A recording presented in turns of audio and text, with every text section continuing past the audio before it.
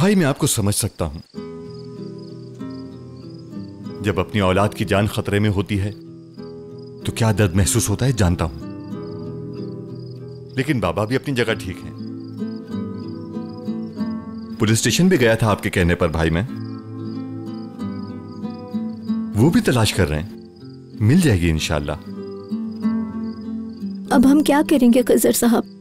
जब तक कहीं से कोई खबर नहीं आ जाती क्या हम अपने हाथ पे हाथ रखकर इसी तरह बैठे रहेंगे। हाँ? नहीं। हम बैठे नहीं रहेंगे। भाई, वो जलाल से बात करके देखें, क्या कहते हैं?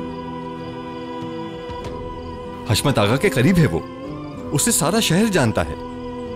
उसके बहुत सारे लिंक्स भी हैं। हो सकता है कोई कुछ ना कुछ बता दे। ठीक कहा तुमने।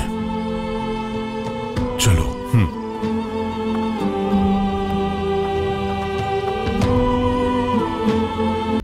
अब मेरी आपसे एक रिक्वेस्ट है जलाल साहब। जानता हूँ कि इस शहर में आपके बहुत लिंक्स हैं। आपको सबके बारे में पता है कि कौन कहाँ और क्या कर रहा है। इसीलिए मैं यहाँ आया हूँ और मुझे अपनी बेटी का पता लगाना है। मुझे उम्मीद है कि आप मेरी मदद करेंगे। मैं अपनी पूरी कोशिश करूँगा। मैं अपने लोगों को इन्फॉर्म कर देता हूँ। शुक्रिया। क्या आपने पता किया किसी को कुछ नहीं मालूम? जी। मतलब जहाँ जहाँ हम जाकर ढूंढ सकते थे वहाँ वहाँ हमने ढूंढा।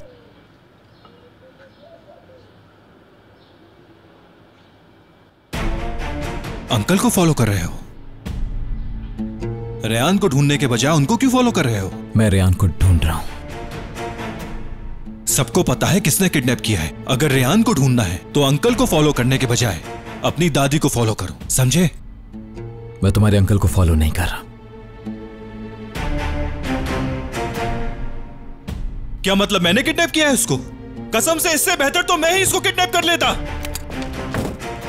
लेकिन ढूंढ लूँगा मैं उसे। लाजमी ढूंढ लूँगा मैं। चाहे वो मेरे साथ रहे या ना रहे लेकिन मैं उसकी मदद ज़रूर करूँगा मेरा। तुम मेरी बीवी से दूर हो गया आज़ाद। मैं तुम्हारी जान नहीं लेना चाहता। समझ क्यों नहीं रहे तुम? रेयान तुम्हारे साथ रही तो ऐसे ही मर जाएगी। मैं उसे हरगिज तुम्हारे साथ नहीं रहने दूँगा अब। या तो तुम मरोगे या मैं। अगर तुमने से मेरे हवाले ना किया आज़ाद तो तुम भी जानते हो कि तुम्हारे खानदान वाले उसकी जान ले लेंगे। समझे? उस रात रेयान को अपने साथ में ले जाता तो तुम्हारे दादा उसकी जान ले लेंगे आज़ाद! आज़ाद! ये क्या कर रहे हो? आज़ाद! आज़ाद! तुम दोनों यहाँ क्या कर रहे हो? हाँ क्या कर रहे हो?